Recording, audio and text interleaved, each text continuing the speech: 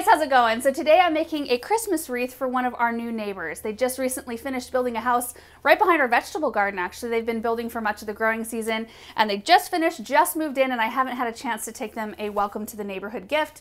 So kind of a perfect time of year to make them a wreath and then also a great opportunity I thought to walk back through the basics of making a wreath because it's been a while since we've done that.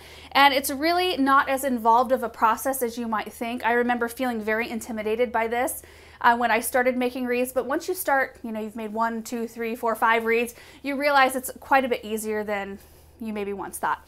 So let me run through the supplies that you're going to need. You'll need a wreath form of some kind and they'll come looking a little bit different possibly depending on where you can source them. This is the type that my parents garden center carries and the type I've always built on so it's a two wire it's very kind of stiff.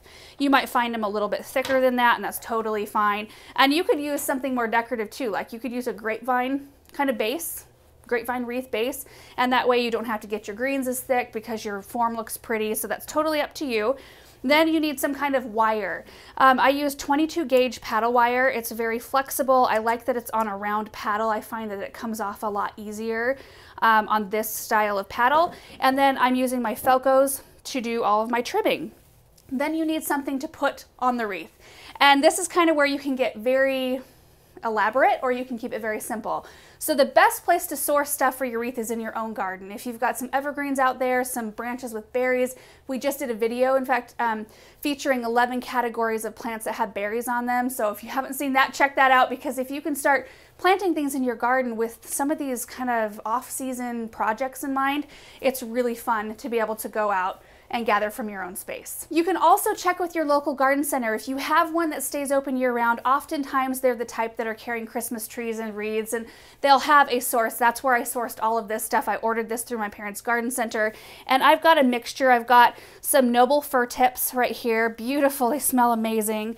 I've got princess pine, which is a really flexible, really elegant looking uh, addition, I think, texture wise.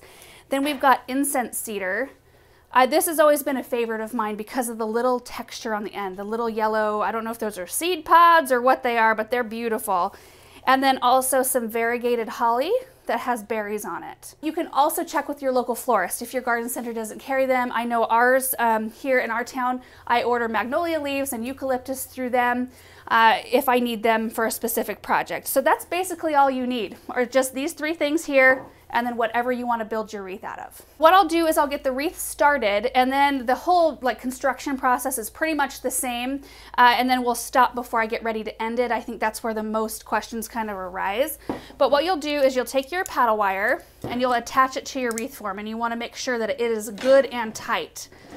Um, so I will try not to shake the table too much. I didn't realize it was so shaky. And I'm just going to wrap this around a bunch of times so that we don't have any chance of it coming off.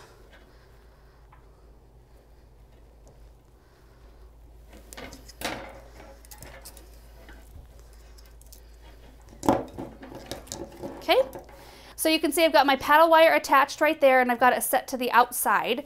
Um, that works better for me. I am right-handed, so I don't know how this is gonna translate for you lefties out there. My mom's left-handed, so it was always hard for us to like demonstrate for each other how to do things. But once your paddle wire is attached, you will not cut it until the very end. So keep that in mind. It's one continuous piece of wire all the way around. So then what you're gonna do is start building your individual bundles. And to do this, you're going to take all of your different elements. I've got the fir, the pine, and you can put these together however you want. Uh, I've got the cedar and the holly, like whatever order you want, but look how pretty that is.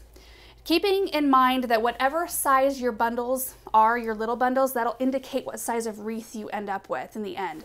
Um, to give you an idea, this is a 14 inch wreath form, uh, and you can find them all the way from real little to really big depending on where you're wanting to display them. Um, but the first one we lay down right on top of the wire. And then we're going to wrap this paddle of wire around three times really tightly. Oops, keeping in mind that these greens, as they dry, they will desiccate a little bit. They'll kind of pucker up a bit. And if our wire is not tight enough, stuff can fall out. So got to do it tight. Is that three times? Yes. So our first bundle is attached. Let me get a second bundle real quick. There's our fir, our pine, Gosh, I love this cedar. It's so pretty. There's our holly.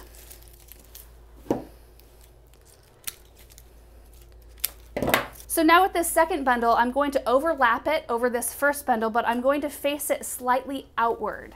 Um, that way we don't end up with a really skinny wreath. I want it to have some thickness to it, and then we're gonna attach it. So we'll go around three times.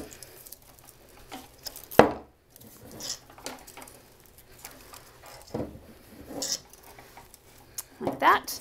And then I'll show you the third bundle, and then it's basically just a repeat of everything I just did. So we've got our spruce, fir, not spruce, pine, cedar. I want some berries on this piece. And then our third bundle will be faced slightly inward, still overlapping that second bundle.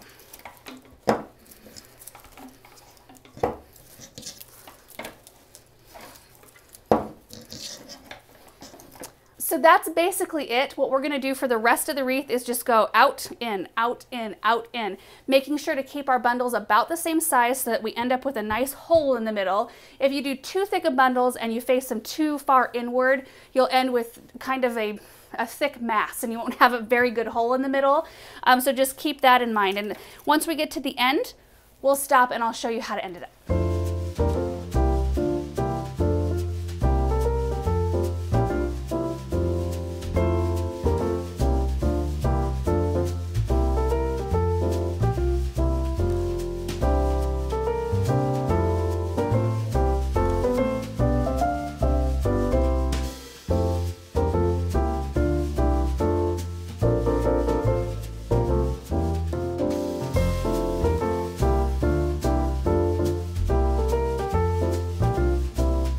Okay guys, so I got the wreath to a point where I am ready to end it. So if you look at it right here, you can see my paddle wire is still attached up here and I've got a little bit of a hole still uh, with some room for a few more greens. At this point, you could just cut the wire off. You'd want your tail to be rather long, wrap it around a few times and then tie it off somewhere on the back.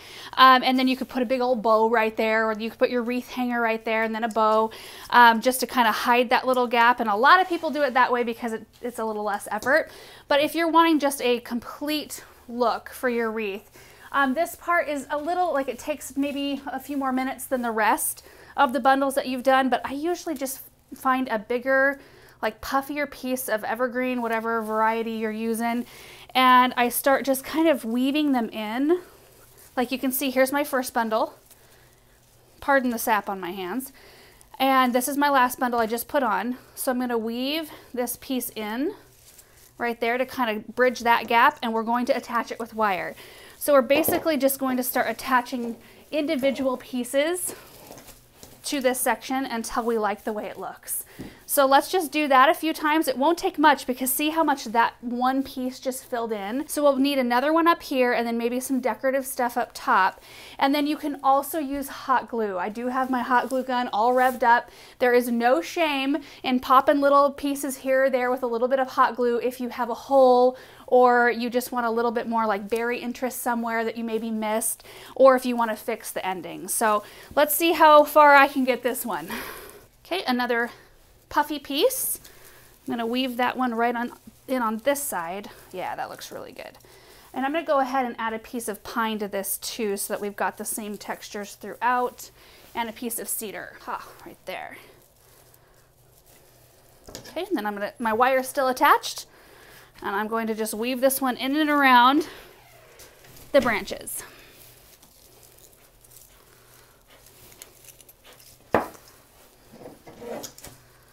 Okay, so let me show you where it's at right now.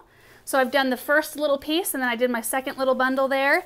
And now I am missing holly and then I do want a little bit more puff kind of up toward the top area here to kind of bring it level with the rest.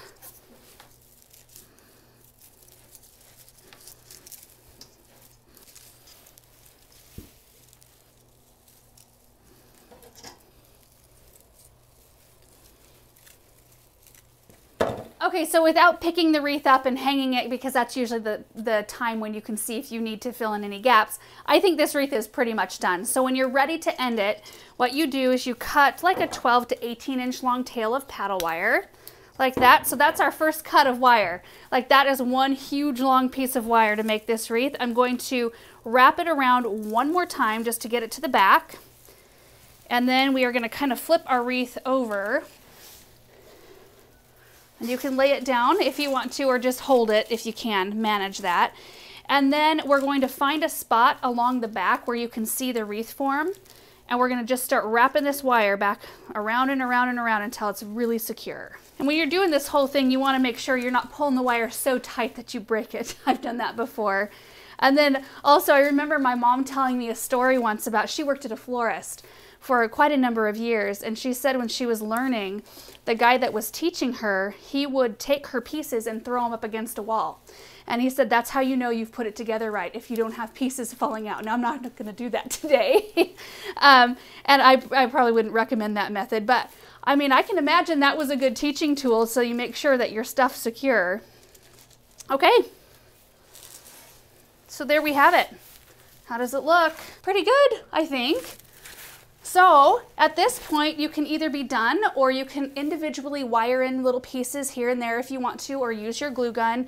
But I think it turned out really pretty. Now the last thing I'm gonna do is uh, spray it with some Wilt Stop, which I have around here somewhere. So this is Wilt Stop. It's a natural pine resin based product that you can spray on arrangements like this or if you're doing containerized winter arrangements where you're popping greens down in containers. It helps prevent moisture loss and it keeps them nicer for a lot longer. Um, it keeps them nice and pliable and not dried out and like kind of brown looking. And all you have to do is just kind of give it one of these. It comes out a little bit milky but it dries clear and you don't need a ton. It has a, a very pine-ish smell too. It's, it's quite pleasant. Um, so that will help keep this nice for a lot longer. I, have also sprayed this on like boxwoods that I've trimmed out in the garden.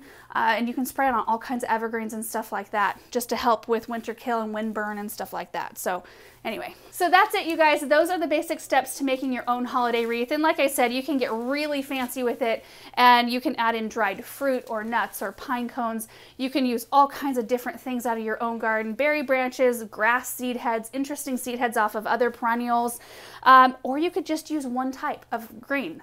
I think that would be very simple and peaceful looking. It's really a fun thing because you can make it unique to you. So anyway, I hope this video was fun uh, to watch and I hope that it was helpful. And if you give it a try, definitely tag me on social media so I can see what you've come up with. So thank you guys so much for watching this video and we will see you in the next one. Bye.